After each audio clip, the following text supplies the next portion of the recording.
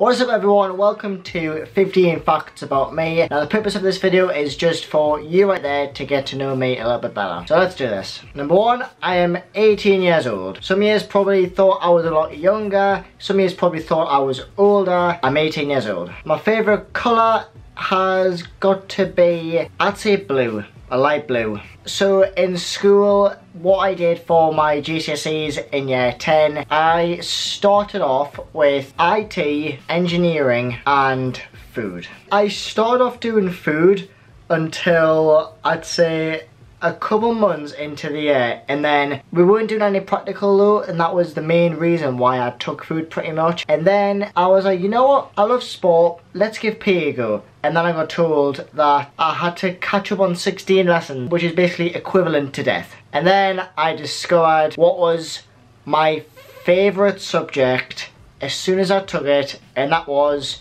media studies. Next fact, I am five foot three. Yes, I know, I'm small. Yep, I get it. Okay, so for those of you that are new, I do do wrestling reaction videos and I'll probably say this, that my favourite wrestler has got to probably be John Cena. Favourite subject in school? I'll probably say before I found media, so like from year 7 to, wait no, not from year 7, from, from all years until year 10, PE. Now after school, I was originally wanting to go to like university, but then none of my friends at school were going to university, so I was like, alright, screw that, I don't want to go by myself. But then I found out there was an atrocious system that came out that just made the school worse and I just I couldn't stay at that school any longer and then that's when I discovered the one place where you can only focus on one subject and that's about it and that is college. So I went to college and I studied software development. I did a two-year course of that and I can successfully say that I wasted two years of my life because I didn't enjoy it pretty much. It just, it wasn't for me. I couldn't do half the stuff that was there. And also at that age, I was like 15, I was like 16, 17, literally all I had planned on doing was graphics, graphics, graphics, and then I just, I completely got sick of college and didn't want to do it anymore. But then I got told that I had to stay on. I was like, right, fair enough. My favourite type of music has got to be house. And my favourite house artist, and if you don't know who Martin Garrix is, then there you go.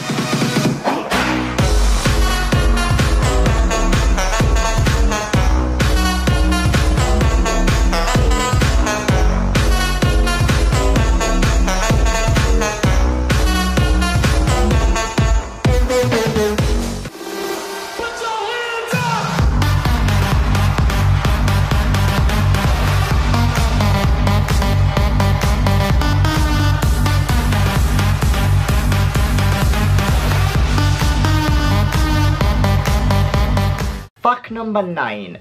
Throughout the process of school, you're obviously going to have some dream jobs. Now I can officially say the first job that I was looking to do when I was around, I'd say 13, 14, maybe a little bit younger than that, I wanted to be an architect. And the reason for that, you know when you go to like someone's house and then you're like, you're brand new and then you're just looking all over the houses. In other words, being a nosy piece of shit. Yeah, I was that Still am now, technically, to be fair. I was obsessed with looking around all the houses that I went in. Then, a few years later, I decided that an architect was not my thing. So a few years later, from wanting to be an architect, I then wanted to be an engineer because that's when I was doing engineering in school and I absolutely loved it. Mainly the practical part, like working on all the machines and stuff, like the lathe machine, the, the lathe machine, the miller machine, the pillar drills, the forging machine. But for real, I absolutely loved engineering and I was like, you know what? I'd love to be an engineer because in engineering there is a shit ton of money to be made and you're probably wondering well why why aren't you doing engineering? To be an engineer you need to be good at one other thing and that is numbers and maths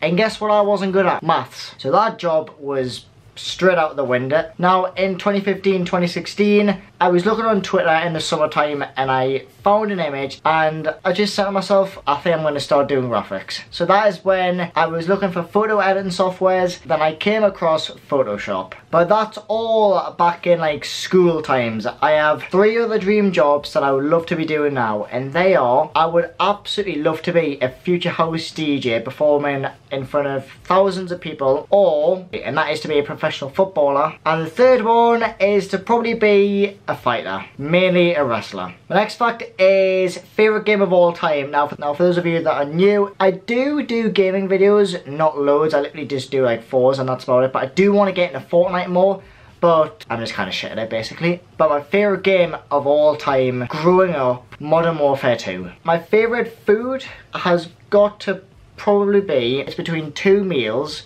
and any British people will understand this, chicken sweet corn pie or roast dinner. And I'll probably say roast dinner. It's just a perfect meal to finish off your week. My favourite holiday destination is probably Los Angeles because the weather, the the view, the Hollywood sign, the girls on the beaches, just all around environment and the look of it in general is in, is just it's beautiful. Okay, so favorite TV show. A fair few shows I do like, and they are mainly daytime ones that consist of there's there's one daytime show that I absolutely love and I'm pretty sure a lot of other British people love this and that is This Morning with Holly Willoughby and Philip Schofield. Because Philip Schofield is just an absolute hero. But there is TV programs later on in the day. And my favourite one at the minute, the second series that's just kicked off, and that is Yianni Supercar Customizer. My most used social media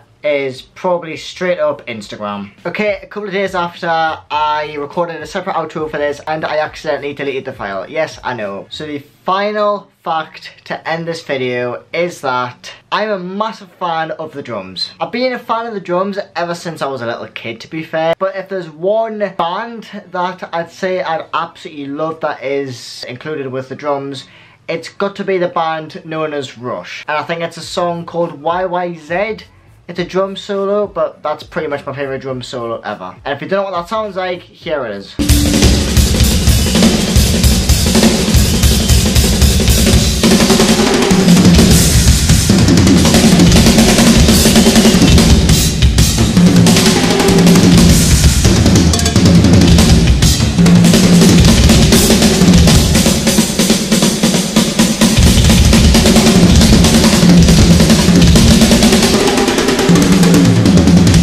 It's just insane. Right everyone, I think that is where I'm going to end this video. Hope you all have enjoyed this. If you have, please remember to smash that thumbs up button. Subscribe to the channel if you are new, and I will catch you lot on another video. Peace.